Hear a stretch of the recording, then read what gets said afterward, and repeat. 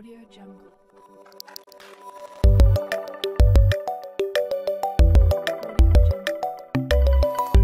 No. Ok, siguiente concepto. Paradigmas de programación. Esta palabra paradigma, no, no, no pienses en programación ahorita. Paradigma, ¿qué te suena? Ricardo, ¿qué te suena esta palabra paradigma? Es como un modelo ah, existente. Ok, esto va un poquito más orientado a, a lo que necesitamos. Este, paradigma sería más como un modelo, ¿va? Un, un- un modelo, algo que ya, ya, ya existe, ¿no? Algo que se hace de alguna forma. Entonces, un paradigma en programación, Como un acordeón. podríamos verlo como una forma de hacer las cosas. ¿Sí? Ok. Por ejemplo, ¿qué sería la parad- un un paradigma en cuanto a educación? Que sabemos que, que, pues, entras primero al kinder, ¿no? Y terminas tu, tu educación preescolar, luego te vas a la primaria, luego a la secundaria, luego a la prepa, luego a la universidad, luego haces una maestría, un posgrado, un doctorado. Ese paradigma de, de, los estudios es una forma de hacer las cosas que, que se, implementa ahorita, ¿no? Entonces ese paradigma sería una forma de hacer algo. ¿Sí ¿Es cierto? Si de repente no te hace sentido algo que estoy diciendo, me puedes decir, lo debatimos, ¿eh? No pasa nada. ¿Va? Entonces, tomando como base que un paradigma es una forma de hacer las cosas, un paradigma de programación, ¿qué sería? ¿Qué te suena? Una secuencia de pasos. ¿Ok? ¿Podría ser? Esa de secuencia de pasos a lo mejor va un poquito más enfocada hacia lo que es un algoritmo, pero podría, podría ser. O sea, falta complementar esa... Un patrón. ¿Un patrón? Sí, sí podría ser. Que dame un ejemplo de ese patrón. ¿Quién me dijo lo de patrón? Yo, Franco, este. Ajá. lo sigo pensando. Ah, está bien, está bien, no te preocupes. Entonces, paradigma quedamos que es una forma de hacer las cosas, ¿no? De hacer algo. Sí, pues Paradigma de programación. Ajá. como dijiste, ¿no? Como ya un, eh, un modelo a seguir, como un este, bueno, yo, yo, yo lo asocio así, ¿no? Como un, Ajá. como te dije, un, un acordeón o un, o un instructivo a, a seguir. ¿Ok? Va, va por ahí, va más o menos por ahí. Sí, como el patrón de un celular, no sé, para desbloquear o para seguir. O para iniciar el equipo. Ok, ¿cuál sería el paradigma ahí? Que los celulares tienen una forma de bloquear y desbloquear la pantalla, ¿no? Sí. Entonces, el paradigma no es tal cual el patrón, es el hecho de que tienes que usar un patrón, una contraseña para desbloquear tu, tu teléfono. Es una forma de darle seguridad a tu teléfono. ¿Sí, sí se, se cacha más o menos? Sí. Entonces, un paradigma en programación, ¿qué sería? Si un paradigma quedamos que es una forma de hacer algo, paradigma de programación sería una forma de programar. ¿Les da de la idea? ¿Qué paradigmas de programación conocemos? ¿Los que están en la carrera, les suena de algo algún paradigma de programación? Orientado a objetos. Orientado a objetos es un paradigma de programación. ¿Alguna otra que, que hayan escuchado? Pues yo de estos cuatro que nos estás había, escu- había escuchado lo de orientado a objetos y lo de programación funcional. Ok. ¿Qué características recuerdan de, de alguno de estos?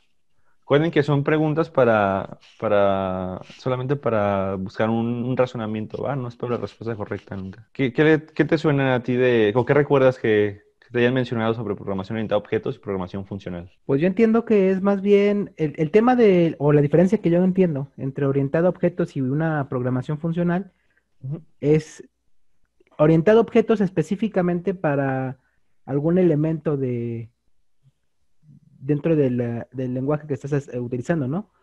Eh, no sé, llámese eh, un módulo en específico o, o algún botón de acción en específico.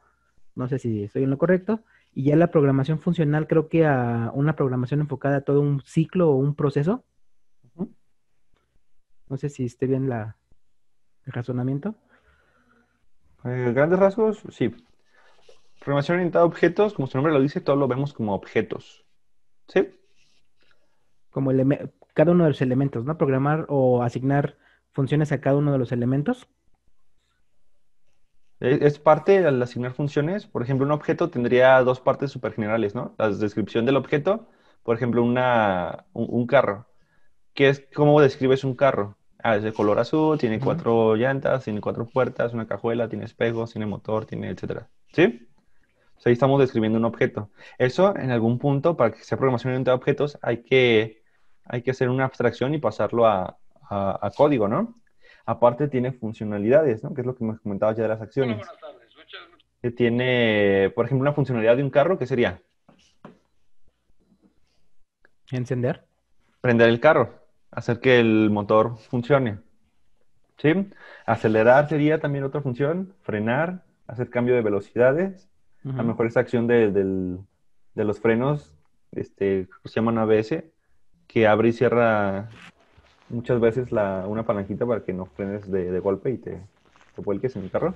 O sea, todas esas serían acciones y, la y lo que ya mencionamos, la descripción de un objeto. Entonces, programación orientada a objetos está basada en eso, en descri- describir cosas de la vida real, este, entre algunas otras cosas, pues, pero también describir eh, cosas de la vida real, hacer una abstracción a código y poder implementarlos para dar una solución. ¿Sí? Entonces, eso, eso de ahí sería una forma de programar. ¿Qué es eso? Orientado a objetos. Tomo cosas de la vida real y lo paso a programación. Y a partir de eso doy soluciones que, este, que un conjunto de otras ramas de la programación orientada objetos me, me ayudan para hacer desarrollo. ¿Va? Programación funcional, por ejemplo, en JavaScript, eh, está, toda esta programación está enfocada a funciones, al uso de funciones y un poquito más matemática en su fundamento. ¿Ok? Esto lo, no lo vamos a ver tal cual, solo se los menciono para que sepan que existen ¿no? ciertas este, diferentes formas de, programar. Entonces, a la que sí vamos a ver muchísimo es programación estructurada. ¿Te suena de algo? ¿A alguien le suena de algo? Programación estructurada, los que estamos en la carrera, ¿se los han mencionado? Pues creo que es algo similar a la programación funcional, ¿no? Es como ir paso a paso en, en la secuencia de, de lo que estás programando. Ok, el- esos, paradigmas de programación, objetos y funcional, engloban también la parte estructurada. La programación estructurada hace referencia a código que se ejecuta de arriba para abajo en un orden específico. ¿Sí? Básicamente el programa de Hola Mundo que hacemos al, principio de, que estamos aprendiendo algún lenguaje es, es eso, es programación estructurada el uso de condiciones, el uso de ciclos para hacer muchas veces un mismo proceso. Todo eso es parte de la programación estructurada. ¿Va? En resumen, programación, en resumen muy, muy resumido, programación estructurada es código que se ejecuta de arriba para abajo y puede tener ciertas condiciones o, ciclos. ¿Va? Orientado a objetos es programación que, que se basa en, en representar objetos de la vida real a, objetos ya tangibles en código. ¿Va? Y programación funcional hace referencia a programación que se basa en, en el uso de funciones, más adelante vamos a ver qué es. Y está basado en algo más matemático. ¿Va? Y programación a aspectos es algo que es un poquito menos común en, en la, que se menciona en las carreras, pero está basado en crear programas que estén divididos en aspectos, se les llama, para que sean independientes entre todos y que si alguno se cae, los demás no, no se afecten. ¿va? En resumen, muy, muy resumido de los cuatro, serían eso. Entonces, lo que a nosotros nos interesa ahorita es entender qué es un paradigma de programación. Ahorita con esta plática que les di, si tú ves en un examen, explícame qué es un paradigma de programación. Cintia, ¿qué pondrías? ¿Sí, que es una forma, sí, es una forma o un modelo, un ejemplo de hacer las cosas, en este caso de programar, en el cual puedes elegir alguno de estas cuatro eh, formas, ya sea estructura, la orientación a objetos o la programación orientada a objetos o la programación funcional. Ok. Estas no son las únicas, ¿eh? Hay mu- muchas otras, muchos otros paradigmas de programación, pero estas son las que son un poquito más mencionadas. ¿Va? Ok. Bien. ¿Alguien más me quiere dar su definición de paradigma de programación? Para reafirmar lo, lo que entendimos. Aner, Sí, bueno, yo entiendo que paradigmas de la programación es un conjunto de instrucciones o una manera este, predeterminada de hacer las cosas y pues puede ser estructurada o orientada a objetos y orientada a aspectos o funcional. entre otras. ¿Va? No olvides suscribirte a nuestro canal y activar la campanita de notificaciones. Deja tu like y sé parte de la comunidad de Tech Gurus.